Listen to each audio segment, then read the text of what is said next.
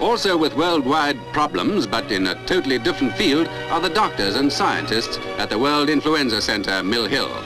New types of flu are their concern, and from all over the world come reports of the latest types of influenza discovered by the World Health Organization.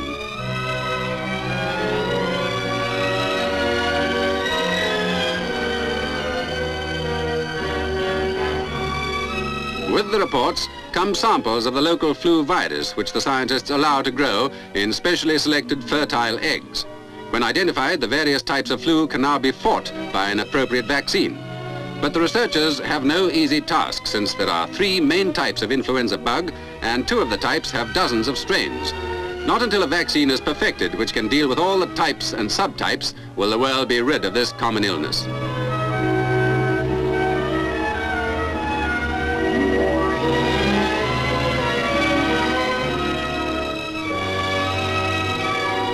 Flu is often called the big sneeze and is sometimes regarded as a joke, but it is far from funny.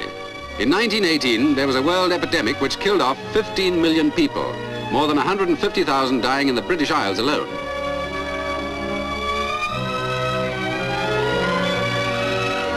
At present, it takes one egg to produce one full dose of anti-flu vaccine, but cheaper methods are being sought. Meanwhile, at this laboratory and many others, the battle goes on and victory is in sight. Soon, say the scientists, they'll be able to inoculate anyone against flu and the big sneeze will be silenced at last.